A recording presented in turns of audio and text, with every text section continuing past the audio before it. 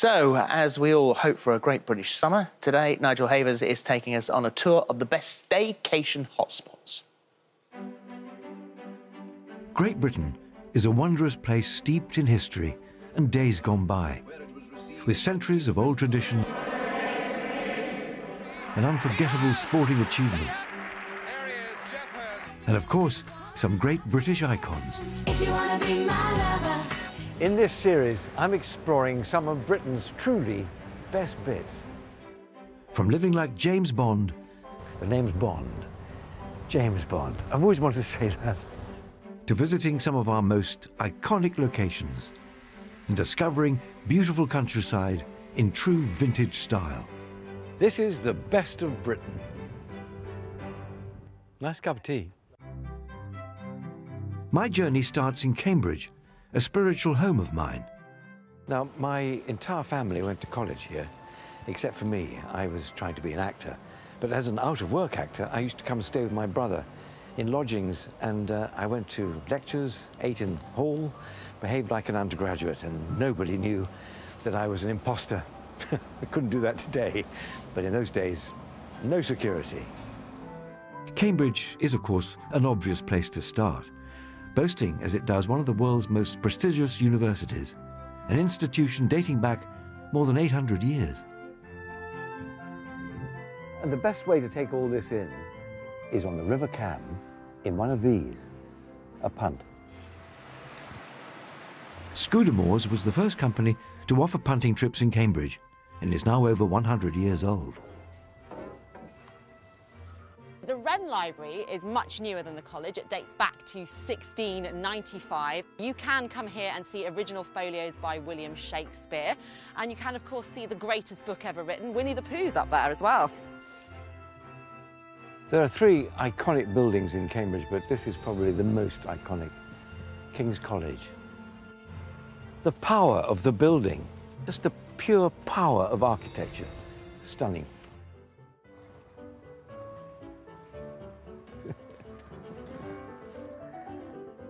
So this is a bit of modernism. Some people hate that, but I'm, I'm a fan. I think it's good to have old with new.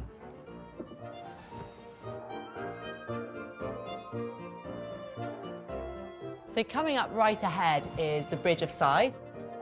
The bridge was, dates back to 1831. Henry Hutchinson built it. You know, I can't think of anything I'd rather do or anywhere I'd rather be than on a punt on the cam, on the backs, looking at the colleges. The stunning architecture is one of the many draws of the area. But did you know that Cambridge is also home to Britain's longest established racing car company, Lister? And it's now the only British racing car company to build cars using the same tools and mechanism as it did 60 years ago. British and fantastic.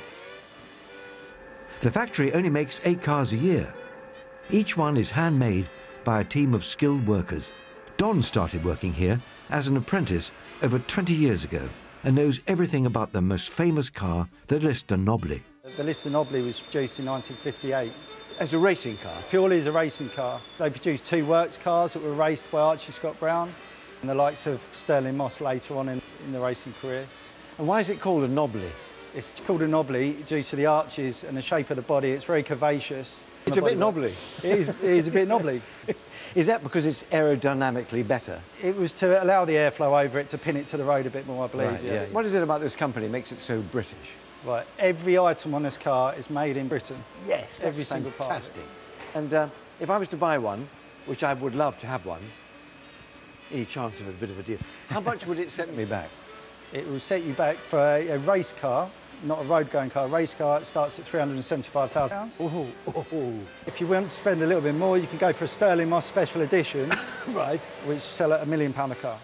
Uh, but if I wanted one for my wife, could you have it in pink? You can have it in whatever colour you want. Great.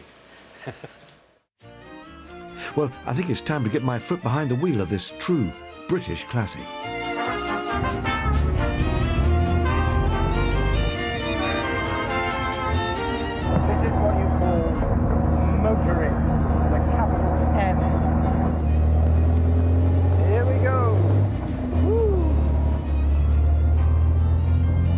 The Knobbly's top speed is 181 miles an hour and can accelerate from 0 to 60 in just 4.3 seconds. It is fantastic. You know, I, I think I can safely say driving this car kind of suits me. I, I've got to have one. I really have got to have one.